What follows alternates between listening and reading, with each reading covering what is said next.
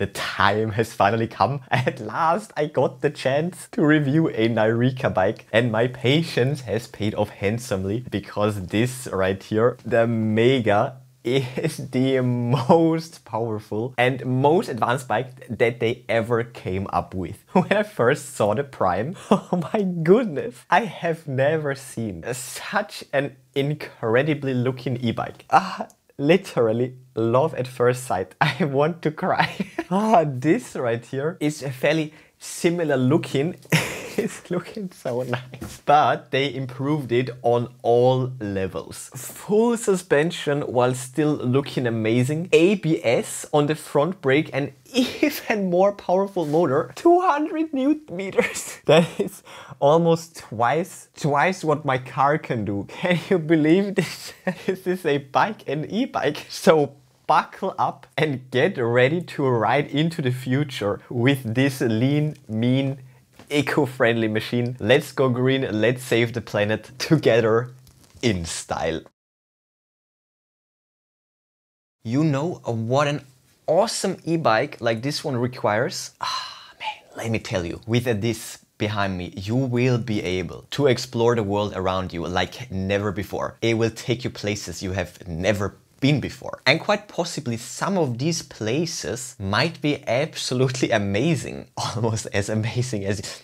So from time to time, you will want probably, you will want to make a short pause, maybe even a long pause. Soak in the amazing scenery, just enjoy life for a bit. And the best way to do this is of course with a properly comfy camping chair. Of course, of course, ultra lightweight, super small footprint so that you can bring it everywhere without any issues. Easy to set up, with a strong and sturdy frame. So here I have my high-end bike, I have my high-end place, and here I have my high-end camping chair. And there is only one brand out there that's clearly delivering the goods, and it is of course Helinox. So check this out, small bag, easy and quick setup, and there we have it. So right here I have the Tactical Chair 1. This of course would fit a bit better to a black e-bike, but for whatever reason they sent me a blue one, but it still fits. It still fits though. And moreover, Helinox has a wide range, a wide assortment of camping chairs and products around that theme, you know, camping, outdoor activities. But what I like the most is their tactical collection because it just fits this badass e-bikes so well, as well as hardcore electric skateboards and so on. I love it. So if you're interested in this high-end, super comfy, lightweight lifestyle boost on the go, then definitely check out Helinox. It's of course listed and linked in the description. And also leave a comment below if you want more of these lifestyle camping gear videos. It just fits perfectly to my lifestyle. This black tactical stuff, I love it. So if you want more, I will gladly provide got a new drip from Nireeka, the Nireeka Mega. By the way, if you're interested already, then check out the product links in the description. I will list and link the best deals for you. And now let's check it out. It's, it's quite large. well, actually, it's not that large. As you can see, it's it's quite manageable, but it's it's rather wide and also pretty heavy. But yeah, that's of course to be expected for a massive bike like this. So yeah, let's open it up. Check this out. It's a box in a box, ultimate protection. That's what I like to see. So there we have it. Well, it's looking quite manageable. So let me get rid of the box. So let's remove the wrapping. It's wrapped quite intensely and there was also this box on the bottom. As this will not stay on its own, I will now just pump up the tires a bit and then immediately meet, mount the front tire because then I can use a kickstand. So we also got this wooden part right here and also this super thick axle for the front wheel with the thread on, on this side. Now that's confidence invoking. Look how thick and stable this is. Massive, massive. Ah, that's better. That's better. There we go. Beautiful. So the wrap has been removed, obviously. It's blue. I didn't expect it to be blue. Yeah, before we can get to the setup, let's check out all the accessories. So first of all, let's check out the saddle. Carbon right there. We have this scale on the back with the min and max insert heights. With these two screws we can also move it forwards and backwards. And that's the thing from the side and also right here from the top. Pretty nice and soft, looking pretty cool with this white stitching. And the tube is of course hollow and inserting it would be a quick win. So let's get it. There we go. And then we will also get a helmet. This is the, the sunscreen and this is the helmet right here, as you can see. Nice helmet right here. With these screws you can pop on the sunscreen from the front and from the back. Pretty nice helmet as you can see. And we have the manual right here and that's the other side. And aside from that we also have two boxes. So first of all, in this box we have the keys for the bike. I will also insert them right now. There it is. Then we will also get the cable for the wall outlet and of course the charging brick. That's that. Pretty dope brick right here. This side with the socket of course. And on the other side we have the fuse, the fan, and status LEDs. And we will also get two spare fuses. And here we have the manual and here we have the other side. And lastly we have the box with the accessories and the parts. And in here, ah, we will also get a bottle holder. Then right here, a really nice looking front light that you can also recharge from the front, other side and from the back. And the charge port is actually down here, micro USB. And you will also get a charging cable. Then in here we also have the pedals and wow, look at that. We will also get a full tool set, a full hex key tool set. That is awesome. And the pedals. And this is what they look like metal pedals. There we go. So let's move on with the setup, pedals and steering bar. There are also a few protective films left on the pedals, on the motor, right there and right there. Alrighty, let's go. And now the two last puzzle pieces would be the battery and the display, the board computer. So check this out, massive 840 watt hours. This is what it looks like. So we have this side right here, this one, and then we also have this side right here with the indicator and you can charge it right here. There's the rubber flap, simple as that. Really nice for removing it, bringing it into your flat without having to bring the whole bike. Will snap in place. You can use a key to release it. That's that. And now the board computer, we have these rubber rings for mounting it on the steering bar. Then we have the control unit, info's right there. And as a display, beautiful display. Let's install it. Okay, so when you go for the mid mount, you won't need the rubber rings at all. Three screws, now everything is super stable. All that's left now is to plug in the cables and it's super easy. It's all color coded. Green on green and yellow on yellow. And simple as that. Now I can push the cables into the frame a bit. Get it all nice and snug, just like that. All right, there we have it. Short test. Oh, let's go.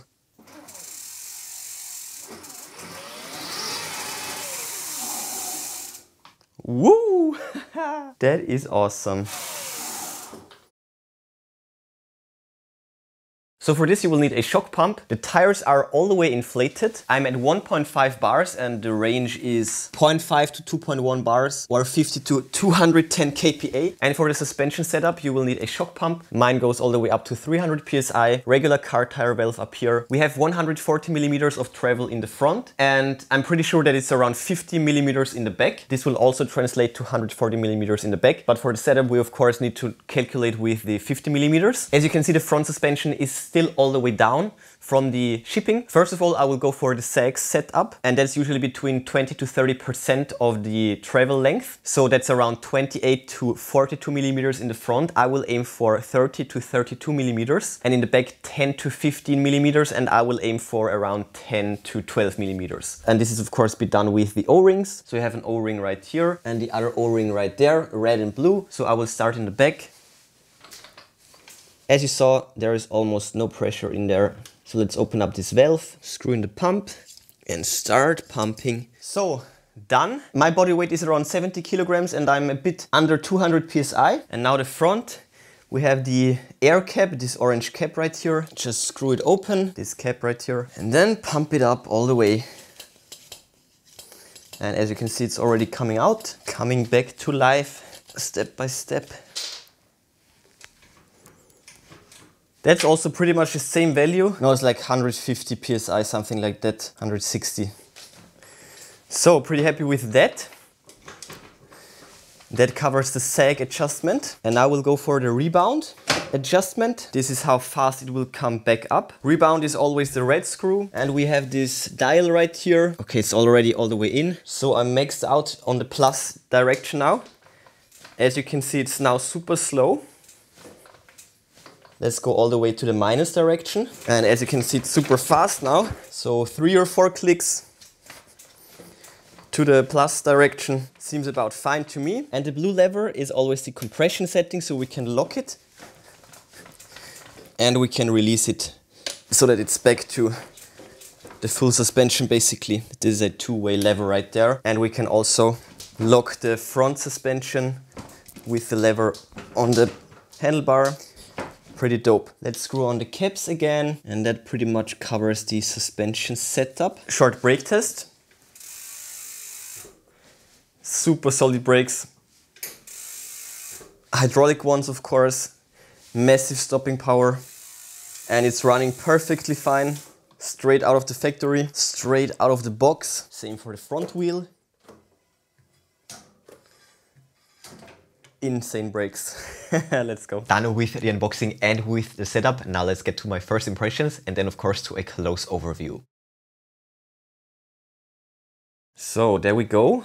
My first thought was, hey, it's actually a bit smaller than expected, but it's looking so nice. I love the Nireeka designs, fat wheels in the back and the front, massive 140 millimeter suspension. And we also have the ABS brake module right here. Super curious about that. We have the upgraded display. We have the upgraded discs, the 1500 watts motor. So yeah, let's take a close look.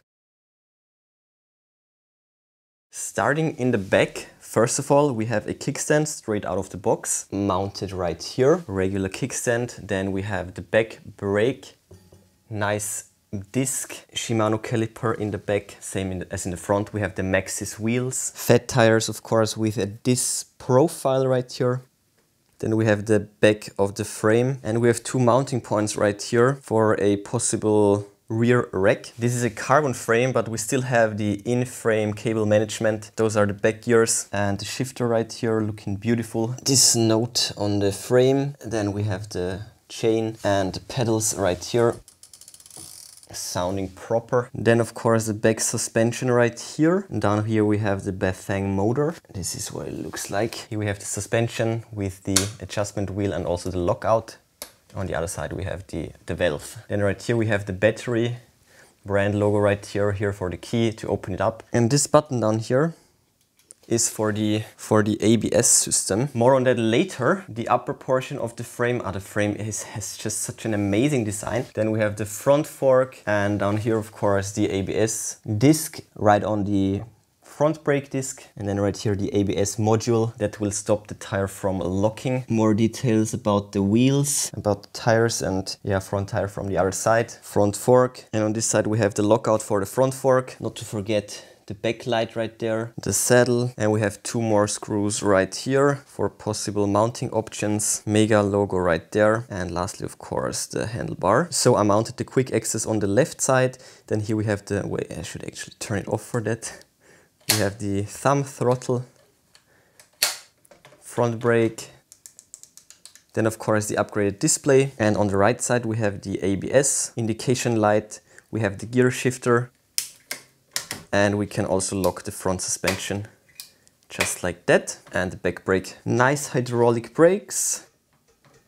That's the cable management in the front, by the way. We have these clips, so everything is properly managed and it will enter the frame right here and also on the other side. Pretty neat and the frame from the other side looking dope. So and again we have the ABS button and let's also turn on the display.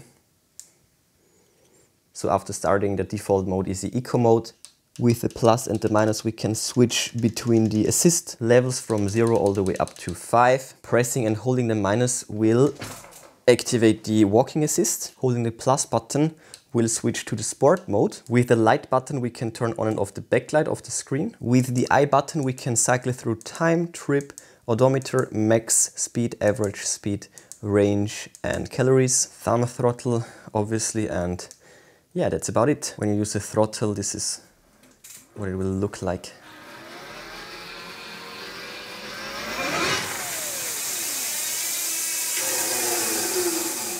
And when we switch to the sport mode, it's of course the same, but in red. Awesome display, and there we have it. Not bad, right? So let's finally test it.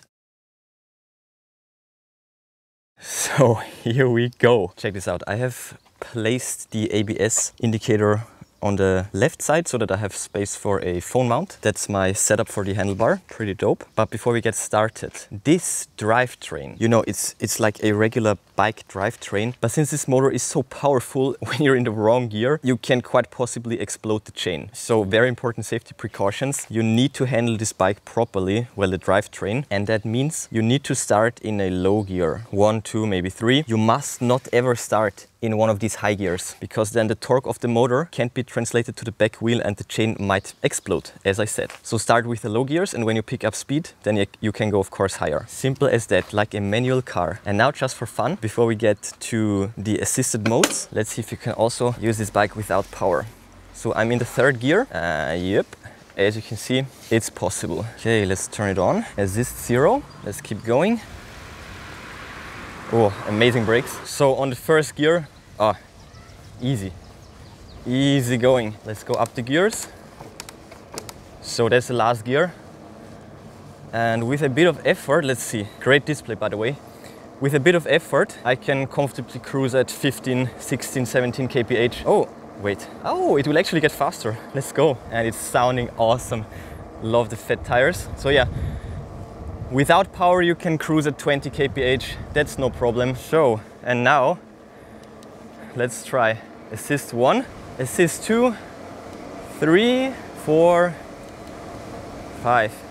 So with just one hand this is already getting way too sketchy, so let me switch it up. I'm in the last gear and that's exactly what not to do. So I'm on assist zero, so the throttle is safe. So I can of course spin it up with my own power slowly without any problems. And I forgot that it's actually torque sensitive, so the last assist level won't take you to full speed when you're, when you're not exerting a bit of force. So on one, let's see how fast we can go when I exert force. Okay, 30. On two, a bit more, three, oh boy, oh boy, four. Oh, this has more. Oh my, oh my God. Oh my God. Oh, oh, it's so, so soft. I love this suspension. Oh, let's go, baby. So on number four, all the way up to 40. And on five, woo! Oh my goodness, oh my goodness. I've never gone this fast on an e-bike, on a, on a bike period. Let's hit the thumb throttle as well. Oh! I will need a long straight, a long straight street. Two, three, four, five. Okay, let's see.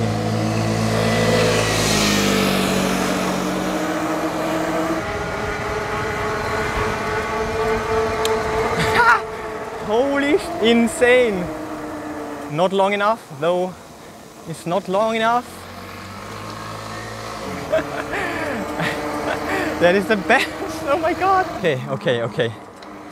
Since I'm going that fast now, let me gear up a bit. GG boys. So, bit of gear can't harm. Let's go. Let's find a longer street. Oh god.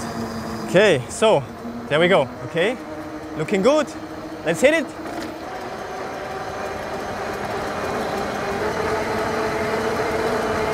Yeah, buddy!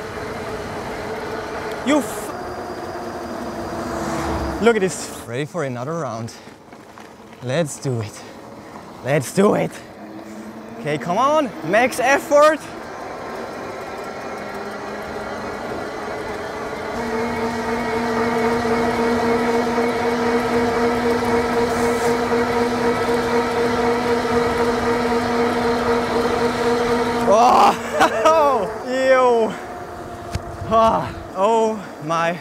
Goodness.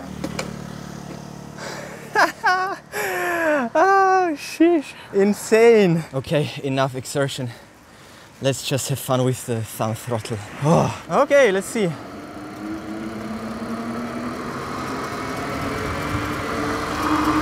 Actually, Ugh.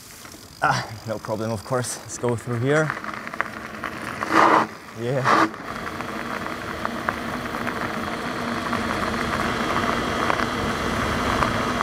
But helping with the pedaling actually makes a huge difference. So with the with only the thumb throttle, it will take you up to around like 50 kph. But with the pedaling, you can go way faster as you saw.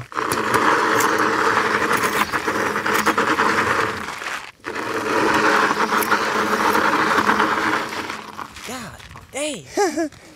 ah.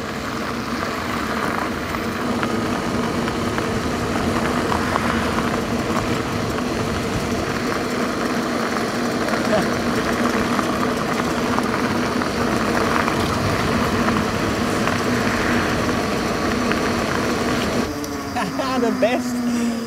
The best. Overtaking cars like it's nothing. Look at those tires.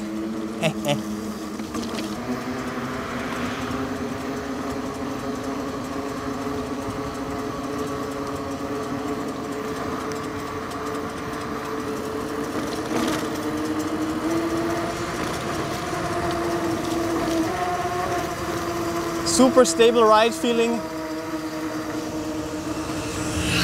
Check this out. Thanks to these big wheels, it is extremely stable.